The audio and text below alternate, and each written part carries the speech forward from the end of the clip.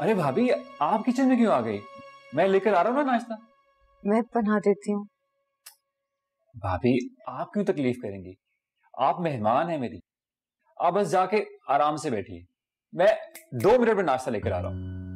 मुझे कोई तकलीफ़ नहीं होगी मैं अपने घर में भी बनाती हूँ। मुझे बनाने दें शामिर भाई। भाई कह रही ना? ठीक है। आइए बना लीजिए।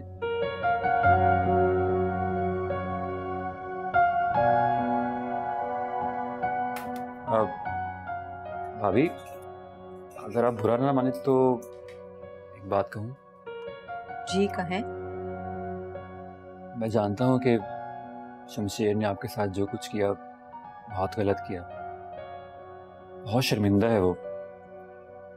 और हकीकत जानने के बाद बहुत बदल गया वो आपको बहुत चाहता है। आप उसको एक मौका देके ज़रूर देखिएगा। शामिर भाई, शमशेर मेरी ज़िंदगी का एक ड्रोना ख्वाब है। वो ड्रोना ख्वाब जो अब हकीकत बन चुका है, जिसके साथ मुझे हर पल ज़िंदा रहना है, जो हर लम्हे मुझे मेरी तकलीफ़ का एहसास दिलाता है। मैं कोशिश करती हूँ ये सब भूलने की, लेकिन फिर जमीर बीच में आ जाता है। और जो जमीर को चोट लगाता है उसे माफ़ करना मुश्किल होता है।